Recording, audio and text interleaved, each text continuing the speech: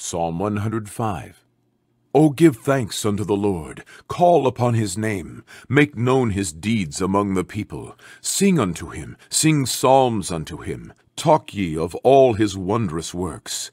Glory ye in his holy name. Let the heart of them rejoice that seek the Lord. Seek the Lord and his strength, seek his face evermore. Remember his marvelous works that he hath done, his wonders and the judgments of his mouth.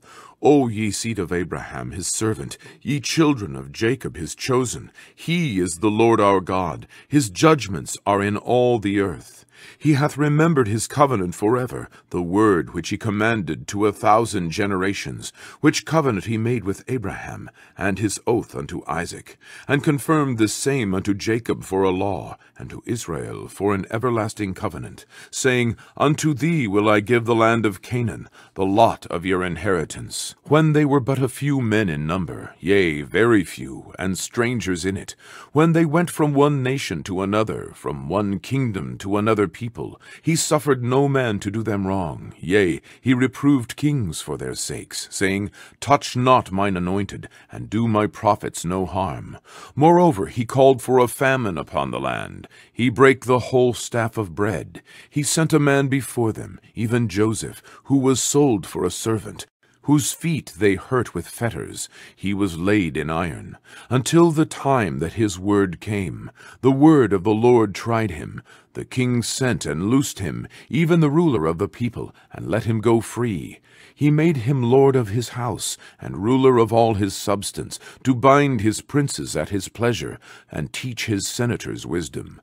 Israel also came into Egypt, and Jacob sojourned in the land of Ham.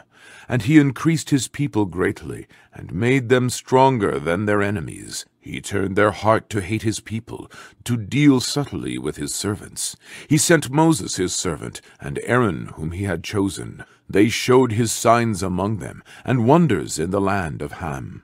He sent darkness and made it dark, and they rebelled not against his word.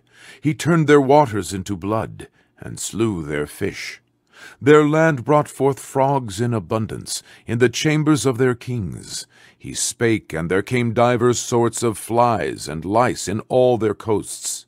He gave them hail for rain, and flaming fire in their land. He smote their vines also, and their fig trees, and brake the trees of their coasts. He spake, and the locusts came, and caterpillars, and that without number and did eat up all the herbs in their land, and devoured the fruit of their ground. He smote also the firstborn in their land, the chief of all their strength. He brought them forth also with silver and gold, and there was not one feeble person among their tribes. Egypt was glad when they departed, for the fear of them fell upon them.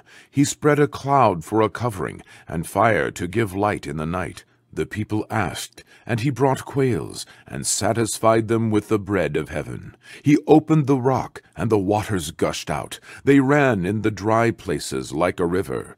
For he remembered his holy promise, and Abraham his servant, and he brought forth his people with joy, and his chosen with gladness, and gave them the lands of the heathen, and they inherited the labor of the people, that they might observe his statutes, and keep his laws. Praise ye the Lord.